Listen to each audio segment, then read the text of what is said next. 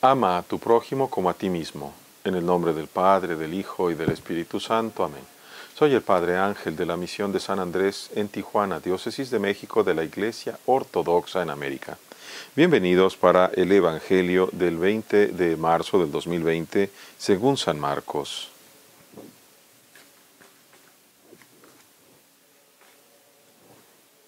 Y acercándose uno de los escribas, habiendo escuchado, escuchado a ellos debatir y viendo que le había, les había contestado bien a ellos, le preguntó, ¿cuál es el primer mandamiento de todos?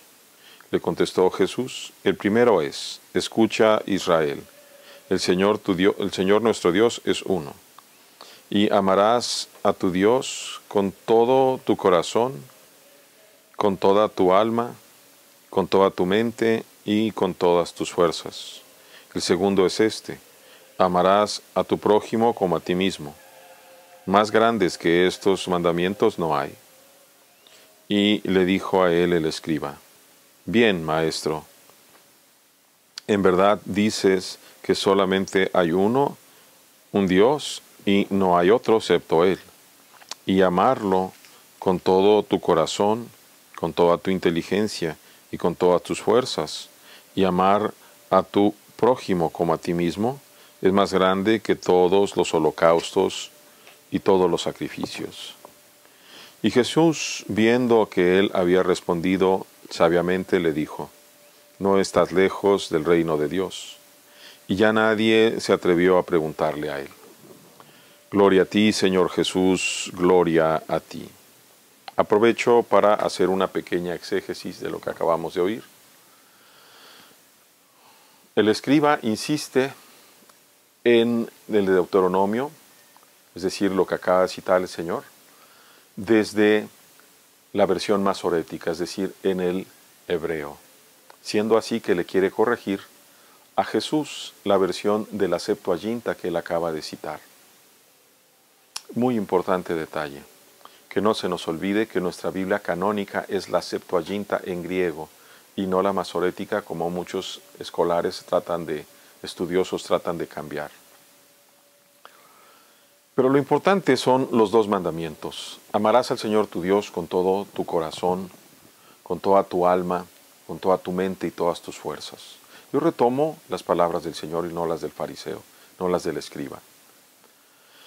Amar al Señor Dios con todo con todo nuestro ser equivale a amarlo absolutamente. De ese amor saldrá el amor al prójimo. Porque nadie puede amar a Dios que no lo ve, sino ama al prójimo que sí ve. Y el amor al prójimo debe de ser como a nosotros mismos.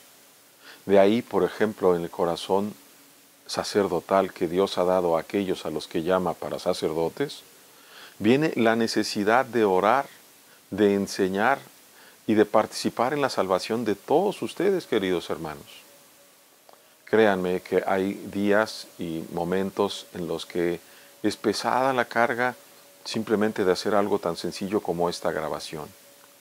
Nosotros no tenemos un gran equipo, básicamente soy yo y obviamente los ángeles, Dios y todos los demás que me ayudan, pero las únicas manos, las únicas cosas que hacen son estas manos soy yo. No es lo mismo ya en la iglesia, en nuestra iglesia, en nuestra misión, hay más personas que nos ayudan, pero para este trabajo específico hace bastantes años que soy yo solamente y por lo que se ve probablemente todavía falten algunos. Sin embargo, lo, lo hago movido, como les digo, primero por el amor de Dios y segundo por el amor a ti. Porque yo también quiero que tú te salves, yo me quiero salvar y quiero que tú te salves. Y aquí te valdría la pena también decir que si yo en su momento dejé la iglesia romana para pasarme a las sedes ortodoxas, es porque vi precisamente la verdad en estas sedes. Y a partir de eso es que este servicio está para ustedes, para que ustedes conozcan la verdad y cada uno libremente decida o abrazarse a la verdad o continuar en donde está. De todas formas, sepan que la única forma es a través del amor a los otros, porque ahí está precisamente el juicio que nos dice Mateo 25, tuve hambre, me diste de comer, sed, me diste de beber, estaba desnudo, me vestiste, era forastero, me recibiste en casa, etc. Y no para aparentar, ni para que te aplaudan, ni para, sino en lo secreto, para que Dios en lo secreto te recompense. Verdaderamente te quiero ver en el cielo. Porque bendito nuestro Dios eternamente, ahora y siempre, y por los siglos de los siglos. Amén.